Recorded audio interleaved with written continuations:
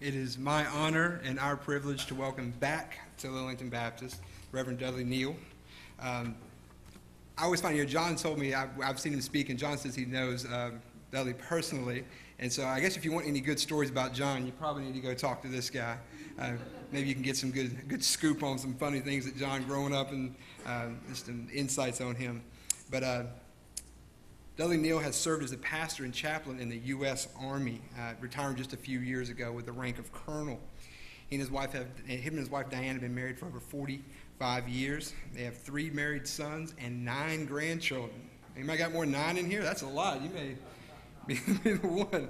Um, he is currently serving as deacon and the Baptist men's director at Roseboro, Roseboro First Baptist Church in Roseboro, North Carolina. God's call in his life now is to do and supply preaching and to be involved in missions locally, nationally, and internationally. Church, we please welcome Dr. Dudley Neal.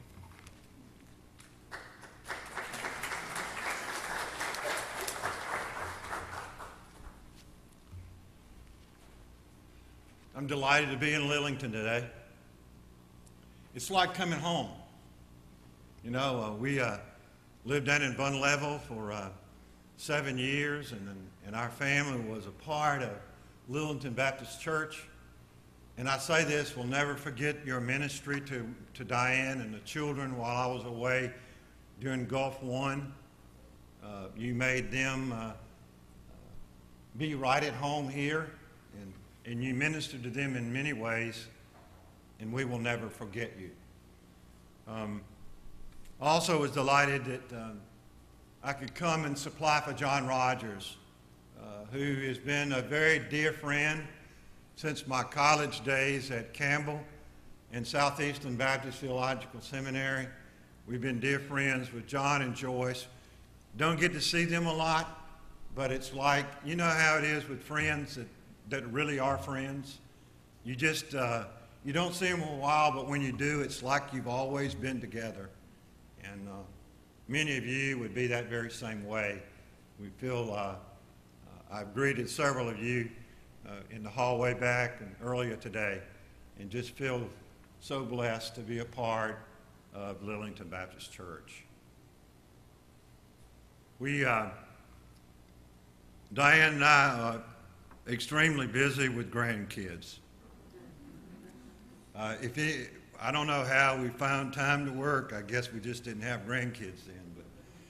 Uh, last week, uh, Matt, Matthew said, Dad, um, he works in Kinston and his wife works in Clinton, and said that the boys, the twins, were in soccer camp.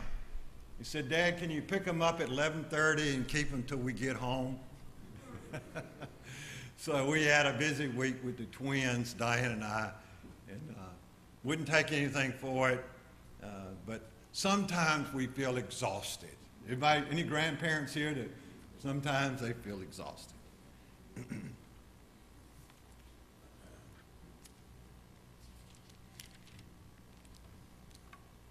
Thank you, Justin. Um, there he is in the back.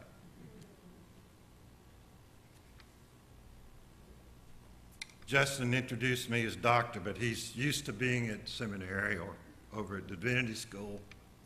Um, I am not officially in a doctor. How about that? That's okay, Justin. It's fine.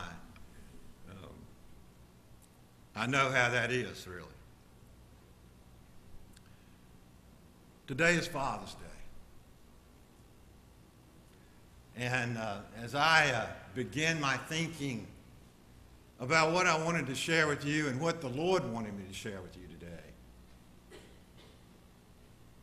I, I had so many memories and so many things that crossed my mind. And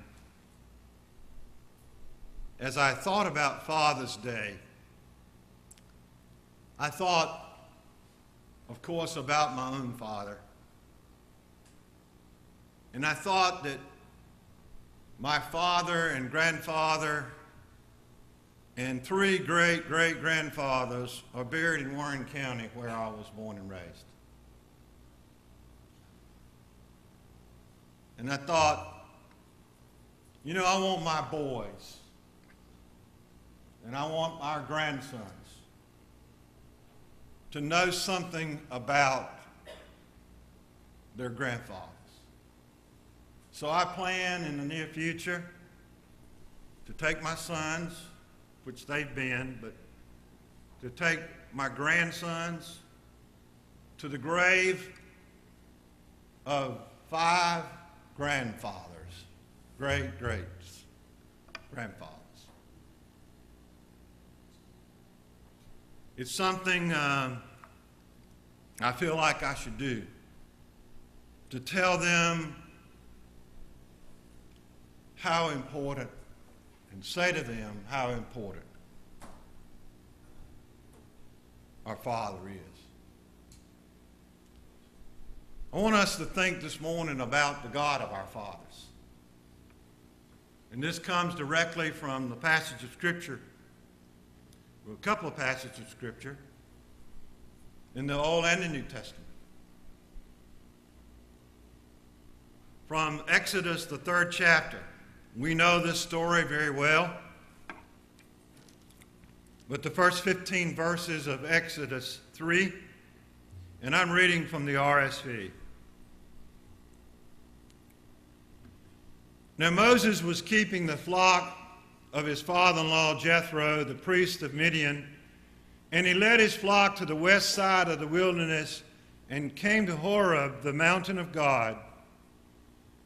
And the angel of the Lord appeared to him in a flame and a flame of fire out of the midst of a bush, and he looked, and lo, the bush was burning, yet it was not consumed.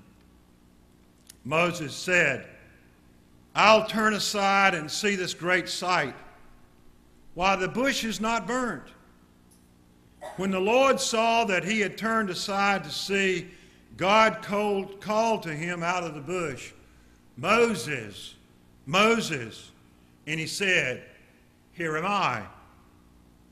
Then he said, Do not come near. Put off your shoes from your feet, for the place on which you're standing is holy ground. And he said, I am the God of your father, the God of Abraham, the God of Isaac, and the God of Jacob. And Moses hid his face, for he was afraid to look at God. Then the Lord said, I have seen the affliction of my people who are in Egypt, and have heard their cry because of their taskmasters. I know their sufferings and I've come down to deliver them out of the hand of the Egyptians and to bring them up out of the land to a good and broad land, a land flowing with milk and honey, to the place of the Canaanites, the Hittites, the Amorites, the Perizzites, the Hivites, the Jebusites. And now, behold, the cry of the people of Israel has come to me. And I have seen the oppression with which the Egyptians oppress them. Come, I'll send you to Pharaoh, that you may bring forth my people, the sons of Israel, out of Egypt. But Moses said to God, Who am I that I should go to Pharaoh and bring the sons of Israel out of Egypt? He said, But I will be with you, and this will be a sign for you that I have sent you. When you have brought forth the people out of Egypt, you shall serve God upon this mountain. Then Moses said to God, If I come to the people of Israel and say to them, The God of your fathers has sent me to you, and they ask me, What is his name? What shall I say to them? God said to Moses, I am who I am. And he said, Say this to the people of Israel I am has sent me to you. God also said to Moses, Say this to the people of Israel The Lord God of your fathers, the God of Abraham, the God of Isaac, and the God of Jacob has sent me to you. This is my name forever, and thus I am to be remembered throughout all generations. May God add his richest blessings to the reading and hearing of his holy word as found here in the Old Testament. We give praise and honor and glory to God our Father, his Son Jesus Christ, and his Spirit, the Holy Spirit.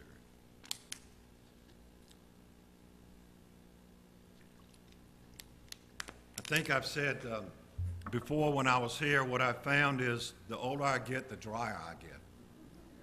Maybe it won't be too dry for you, okay?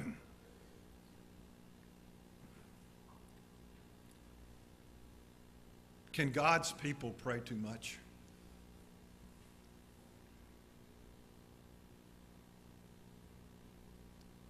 I want to thank Justin for leading us in prayer.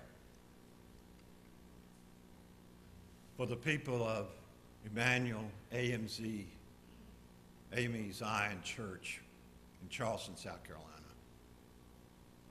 I don't know about you, but my heart has been broken for them. And I hurt to the depths of my being. But you know, that could happen anywhere.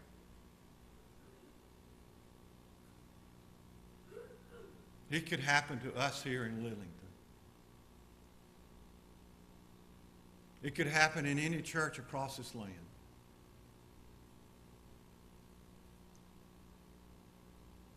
But right now, service is going on. And that church said it was going to proclaim love, grace, peace, and freedom and forgiveness. They've already claimed it. And the reason they can claim it is that because Christ has claimed them. And I ask you this morning, has he claimed you? Would you pray with me a moment?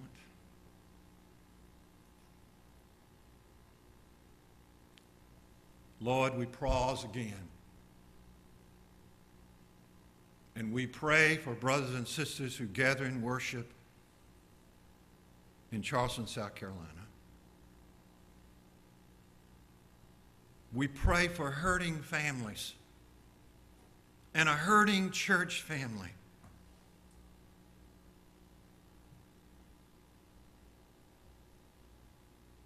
We even pray, Father, for our enemies and even the attacker.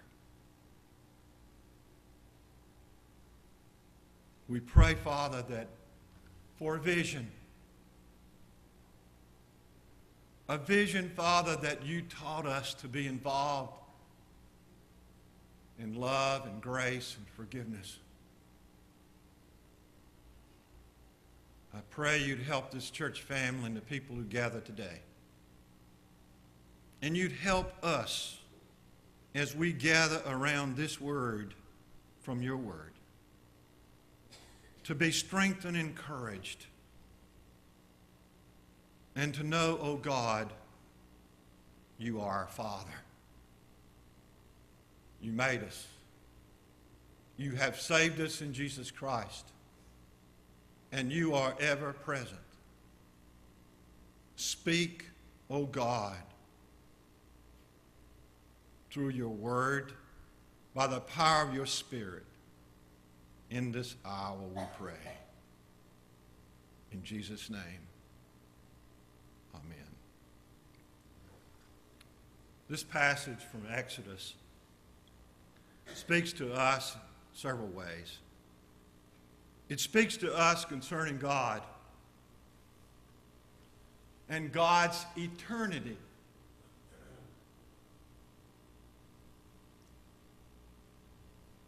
Does it help you to think this morning that there's nothing in all the world that can separate us from the love of God in Christ Jesus? Does it help you to think about that God planned an eternity? That we could live with Him forever and ever and ever from the beginning?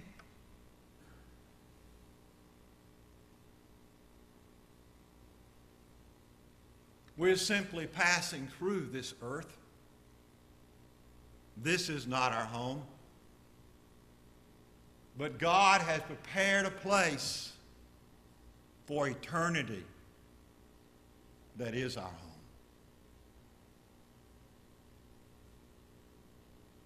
so someone could snuff out our lives here today. But would it take us out of eternity? No, because it's God's plan for eternity. That if we belong to Him, we cannot be taken from Him. This passage also suggests of God's unchangeableness. That God is the same today, tomorrow, and forever.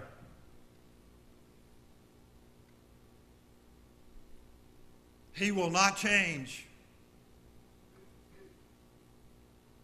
He made you. He made Abraham, Isaac, and Jacob, the patriarchs that we read of here in Exodus. And He made each of us. Thanks be to God that God is unchangeable.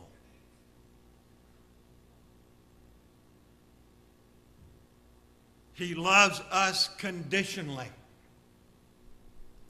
unconditionally. There is no condition that can take us from God's love. Unconditionally, He loves us. Thanks be to God. It also tells us something about fidelity, about a loyal God.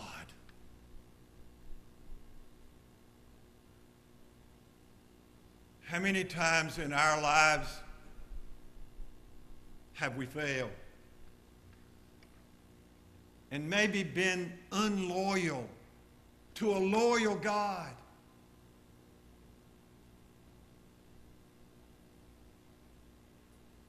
But He is loyal, and there's nothing in all the world that would keep Him from being loyal to you. And we ask the question this morning of ourselves are we loyal to Him? This passage suggests, suggests to us some things concerning the patriarchs. And we know that they were fathers in the faith. And we know that here in this passage, we read there in verse 6 I am the God of your father, the, Abraham, the God of Abraham, the God of Isaac, and of Jacob.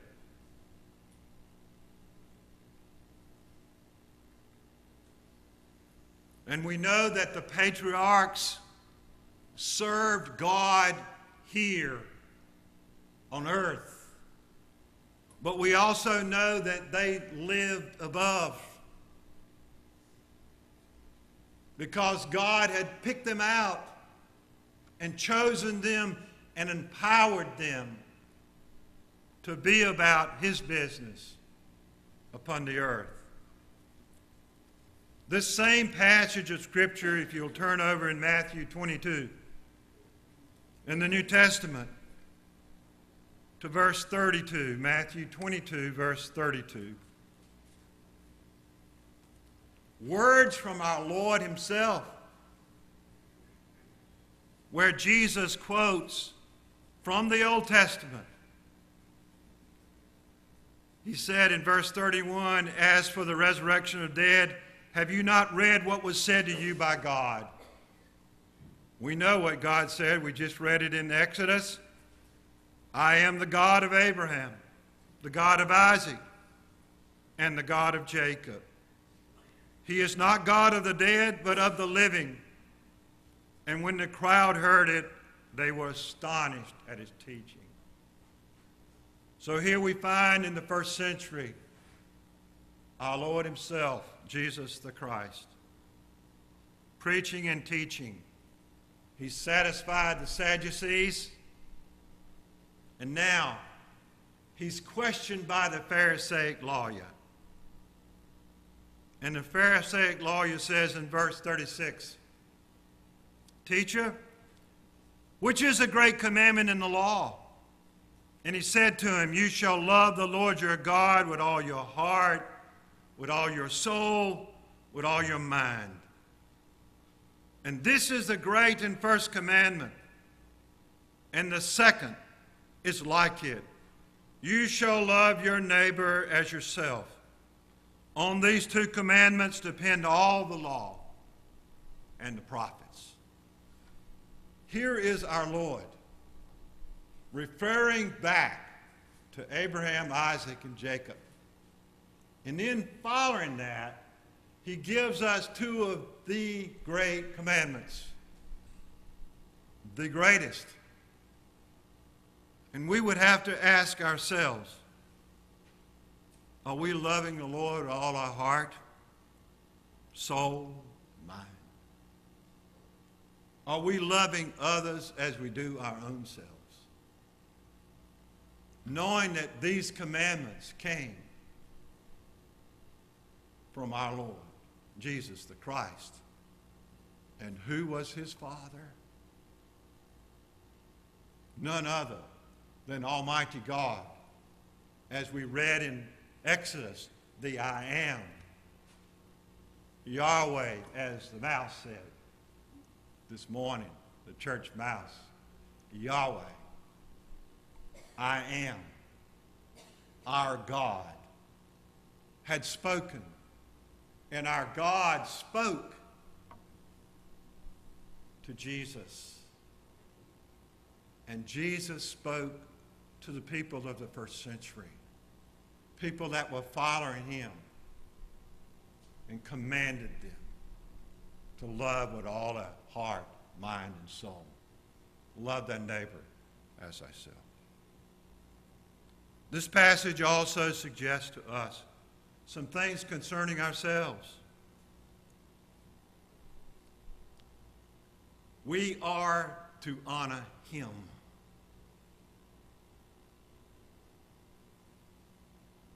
We've come here to worship Him this morning. We've come here to gather together in fellowship that we might be strengthened to serve Him. We've come here to trust Him.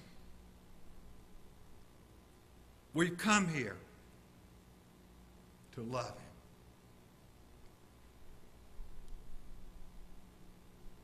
It mentioned, um, Justin mentioned it, and you've heard me mention. The last few years, I've been involved in missions by choice because I felt the Lord leading me. In just a few weeks, the 11th of July, I'm going to West Virginia with a team to help a church. A church that needs some refurbishing, a church that needs someone to come and stand beside them half of the people in this church are on welfare. We're going because we feel the Lord leading us to go and calling us to go. During the last five years, I've been involved with Baptist Men, and now which has become Baptist on Mission. And of course, Baptist on Mission, uh, Baptist men have been involved in missions around the world a lot locally, disaster relief, and many other things involved in missions.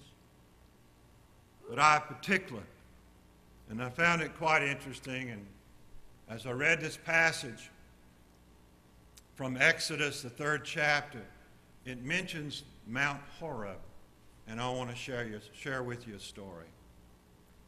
I've been going to southern Honduras four out of the last five years to work with our missionaries there in building homes and building Sunday school classrooms on the churches.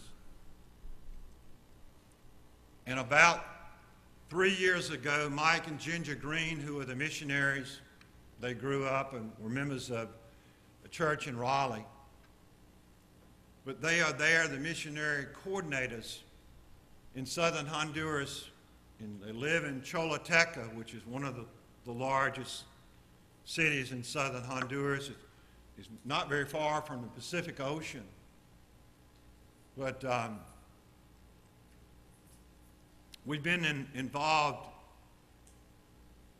in helping people who are who need our help. Um, I don't know how many times you've been to the grocery store and picked up a, a cantaloupe or a melon, and it said uh, Honduras on it. I've seen the fields where they come from. And I tell you, it's tough. It's, it's back-breaking work. It's in 95 degree heat. It's, um, it's humid. People in southern Honduras who work in the fields get $7.50 a day. Can you imagine? And Pepsi costs 55 cents. $7.50 a day. So you can imagine what they have to live on and to try to make a life. And you can imagine what it means to have someone come in and help you build a church or help you build Sunday school classrooms or to build a home. And we carry and we go and do these things because our Lord has called us to go. The God of our fathers has called us to go and help in the name of Jesus. I was telling a group this morning, I'll never forget the sight of helping this one particular family. It was 10 in the family. And only one in that family we knew that professed Christ, and he was a little boy, about 11 or 12 years old. And we knew he, he did because he had helped us on some other projects in that community. But we built a house. And a house in Honduras that we build is 19 feet by 25 feet. It's a cement floor, cement block walls, and a metal roof. And with the help of the Honduran people, usually the family and people in the community, we can actually build that house in five days. There are no lights in it. There's no HVAC in it. But it's a home. And it protects them from the elements much better than a thatched house built with mud and sticks. It doesn't have lights in it, but that's okay with them. But they're just thankful. It does have a center pole in that house because they all sleep with the hammocks. And in the walls of the cement block, we put rebar, a hook, so they could hook their hammock at night into the center pole in the house and take it down during the day. But the day that we dedicated the house, we actually washed the people's feet. We felt led to do that. That was quite a moving experience. And then we had a prayer as we all gathered around. One of the Honduran pastors, as we all placed our hand on the house, prayed the most beautiful prayer, interpreted by our interpreter. And I was telling the group this morning, not a dry eye. Every one of those family members. I can't tell you whether they became Christians or not because I haven't been back to ask them. I actually been back in that area, but not really to have contact with them. But why do we do it? Because the God of our fathers has sent us. Today we praise and give thanks. And I encourage you to pledge to live for the God of our fathers and to dedicate your life and to model your life after the Father God to our fathers, men. Our families need us in ways that only God has made us. I challenge you today to be the father that God has called you to be. And to be on mission, honoring, trusting, loving, and serving our Lord and Savior, Jesus Christ. Would you join with me in prayer?